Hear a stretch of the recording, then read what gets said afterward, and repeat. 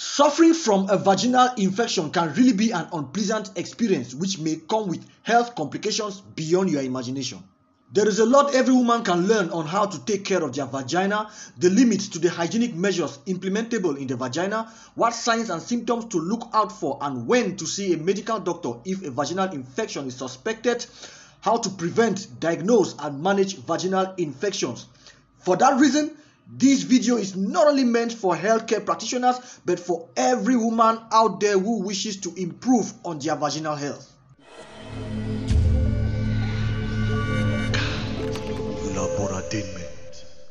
Hi guys, it's another laboratainment for you and you know how we roll here, right? We enjoy how to learn it and we learn how to enjoy it. If you haven't subscribed, uh, you know where the subscribe button is, just go right down there and click on the thing, you know what I'm saying? Why do I keep saying you know what I'm saying? On today's laboratory, we shall be talking about how to diagnose, manage, treat, and prevent vaginal infections. This is going to be a two-part video. And for the part one, we shall be talking about bacterial vaginosis. And we have our reporter who is presently on site, Prissy Tufon, who will be giving us a heads up on that. Prissy Tufon, are you there? Yes. We are here. We are all here. The vagina is actually home for millions of bacteria out there. Now, the big question is at every point in time, which particular bacterial species is dominating in terms of numbers and percentage coverage of the vaginal walls? The picture we are all looking at right now is that of a gram-stained vaginal smear showing numerous gram-positive bacilli as seen under the microscope. We shall from now henceforth refer to these gram-positive bacilli as lactobacilli. And for the records, this picture was taken with a smartphone. Check out the description section of this video and you will see the link of a video we did some time ago on how to take amazing pics from the microscope with your smartphone. If you are interested in learning that, just click on the link, enjoy and thank me later. The ideal microbial flora of the vagina should be characterized by a dominance of lactobacilli as these particular bacteria have been shown to play a lot of beneficial roles when it comes to protecting the vagina from other harmful microorganisms that could cause disease. As such, lactobacilli is the kind of bacteria that every woman should be hoping they have down there. However, the degree of protection a lactobacillus can confer to the vagina depends on the amount as well as the particular species of lactobacillus present or dominating in the vagina. Some particular species like Lactobacillus iners are weaker as compared to Lactobacillus crispatus or Lactobacillus acidophilus. As such, Women who carry mainly lactobacillus iners may be more prone to vaginal infections. In other words, some women have security guards or police down there while others have a well-armed military battalion. Based on the Hay-Ison criteria, this picture represents grade 1 flora, also referred to as normal flora. Other microorganisms like Gardnerella vaginalis, Atopobium vaginae, Mobiluncus, Peptostreptococcus may as well exist as harmless bacteria and be classified as commensals or normal flora in the vagina as long as their numbers are kept low by the abundant presence or action of lactobacillus. Now this takes us to grade 2 flora. Let's say we add a different type of bacteria here, here, and a little more there.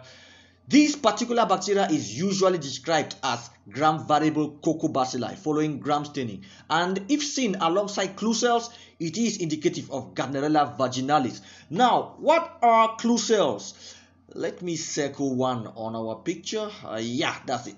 Clue cells are vaginal epithelial cells that have gram-variable coccobacilli around their cell membrane and or in their cytoplasm. The picture we have right now represents grade 2 flora where there is a mixture of Lactobacillus and Gardnerella vaginalis. But the Lactobacillus is still in command as seen by their numerical superiority. So this is still considered as normal flora. Now, let's say I significantly cut down the amount of Lactobacilli that we have in this scenario. Uh, then I resort to adding more Gardnerella, like more Gardnerella here, uh, there, there. I put up another clue cell there. I put up more Gardnerella here, and I put up. Hey, don't get it twisted. It's not like I like adding Gardnerella into female genital tracts. I'm trying to make a point here, though. Okay, as I was saying, what if Gardnerella vaginalis finally gains more grounds and outnumbers lactobacilli, leading to a significant disruption of the vaginal microbial flora? Now, this is classified as grade 3 flora and it's a disease state referred to as bacterial vaginosis. Bacterial vaginosis is a complex polymicrobial disorder characterized by the disruption of the vaginal aconage resulting in the reduction of lactobacilli and an overgrowth of other bacteria like Gardnerella species, Atopobium species, Prevotella species, Mobiluncus species, Mycoplasma species, and all that. I always like to think of bacterial vaginosis as a coup d'etat now, imagine that the vagina is a country with a well structured government and a well armed military, also known as lactobacilli, protecting its territorial boundaries and ensuring national security. Then, boom! One day something goes wrong, and a rebel group, also known as Gardnerella vaginalis, that has been operating in hiding, finally overthrows the government by defeating the military and taking over the country. Okay, stop imagining. Let's move on. Bacterial vaginosis is the most common vaginal infection in women of childbearing age.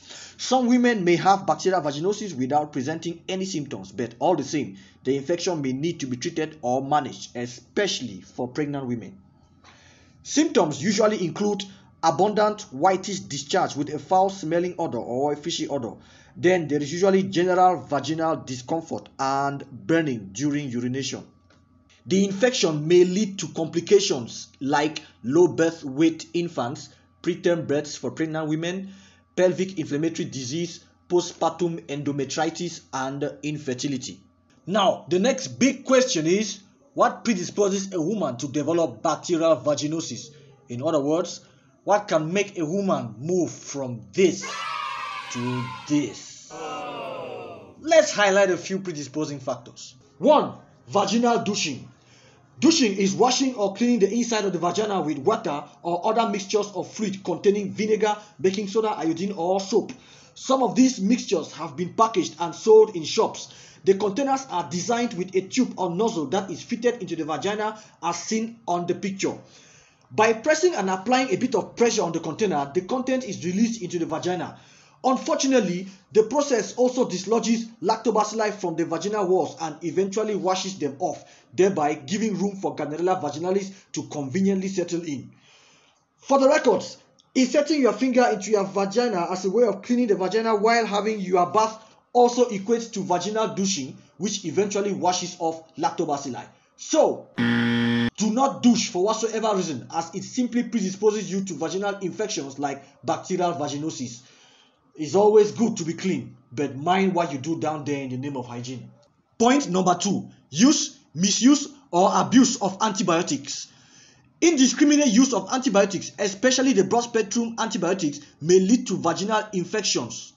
Some women have the habit of taking doxycycline or other antibiotics when they start noticing brownish or creamy discharge prior to their menses or after their menses.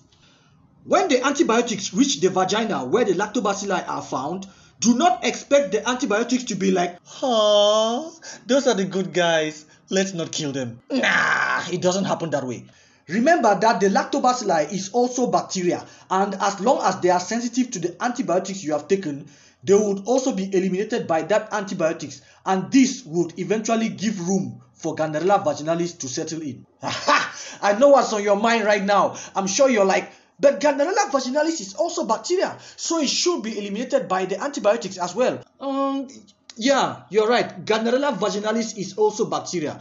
But bear in mind that most of the commonly used antibiotics like doxycycline, tetracycline, amoxicillin, ciprofloxacin, and so on have been shown to have poor activity against Gardnerella vaginalis. So your chances of killing or inhibiting Gardnerella vaginalis with these antibiotics are pretty low. As a matter of fact, bacterial vaginosis is usually treated with metronidazole, clindamycin, or tinidazole and should be taken as prescribed by a medical doctor. Point number three, hormonal imbalance. Some of these hormonal changes occur during menses, pregnancy, and menopause.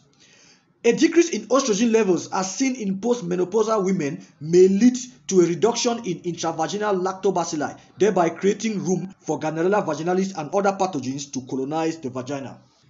The fourth point, the particular lactobacillus species dominating in the vagina. As earlier mentioned, some women have weak lactobacillus species dominating in their vagina and so they may suffer from recurrent bacterial vaginosis. Well, it's not like these women are doomed.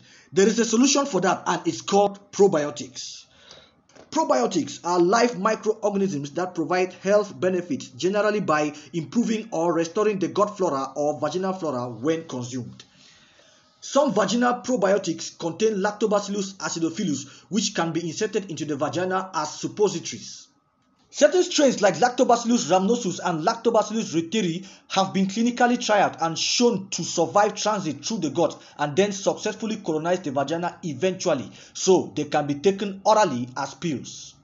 If taken correctly and for the prescribed duration, probiotics may introduce a stronger lactobacillus species which would eventually colonize the vagina and reduce the occurrence of bacterial vaginosis.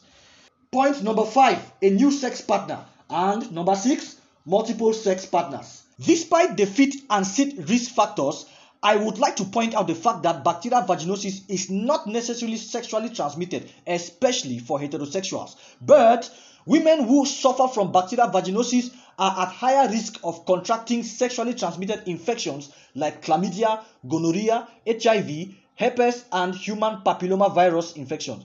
Lactobacilli usually protects the vagina from all these STIs as well. So, if they happen to be overthrown by Gardnerella and bacterial vaginosis sets in, chlamydia and all the other STIs will be able to successfully establish themselves in the vagina. A woman with bacterial vaginosis is also at risk of premature delivery if she is pregnant. Some bacterial infections at the level of the vagina of pregnant women may lead to miscarriage. This takes us to grade 4 flora where we see mainly gram-positive cocci which may be indicative of streptococcus. This is usually a call for concern for pregnant women as group B streptococcus has been shown to trigger miscarriage. Not all grade 4 flora represents group B streptococcus but it's good to be able to suspect it early enough and take the necessary precautions especially for women still in their childbearing ages. Most women on menopause may not have noticeable bacteria in their vaginal smears but would have epithelial cells. This is referred to as grade 0 flora as shown in the displayed picture where only epithelial cells are seen. This was Priestley Tufon reporting live from the the the I don't know vagina door over to you Kukwah Anthony at the studio. Uh, I mean, laboratory. All right, that was a brilliant report there from Priestley Tufon, though it kind of had a weird ending. Now, that was just one common example of a vaginal infection. What about trichomoniasis, candidiasis, and of course, Neisseria gonorrhea infection? Well, we can't address all of that during this session. That is why there is a part two for this video where we will be talking about all of that. As of now, I'm a very busy man. Got a lot of work to do. So if you want to catch up with us, just subscribe to this YouTube channel. You know what I'm saying? So that you keep up. Why do I keep saying you know what I'm saying? All the same, just subscribe to this YouTube channel and we shall keep you laboratained. Of course, it's laboratainment.